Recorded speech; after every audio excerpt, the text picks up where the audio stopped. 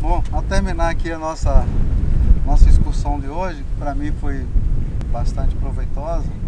Eu agora não quero mais falar de geologia, mas eu queria fazer, deixar aqui o, o depoimento do meu encantamento com essa, aqui, com essa nossa atração. Aqui é, eu conheço várias regiões que têm é, monumentos geológicos, já visitei vários, e eu posso dizer então com conhecimento que aqui nós temos um potencial grande para atrair visitantes, né? mas precisamos criar uma estrutura mínima, é, primeiro uma conscientização de preservação e segundo é, dá para criar alguma, alguma é, coisa para atrair o visitante, né? principalmente com informação e, dar alguma estrutura de, de apoio. Né?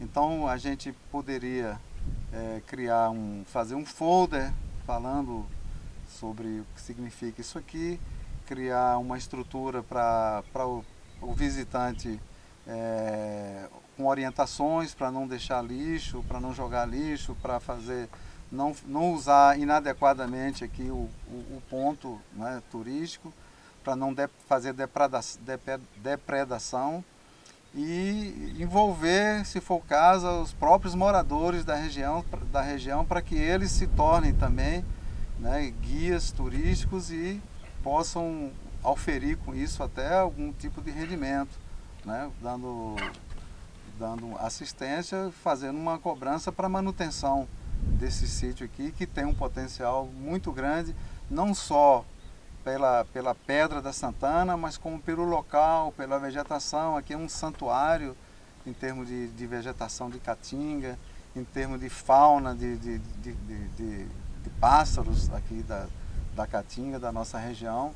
É como se fosse um museu da nossa caatinga. E fora a visão maravilhosa que a gente tem aqui.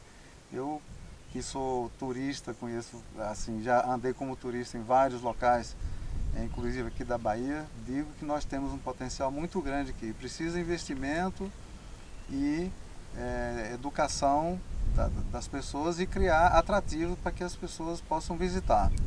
A gente, quando seleciona locais para visitar, a gente entra e, veja o que, que, e vê o que, que tem, o que, que oferece, né?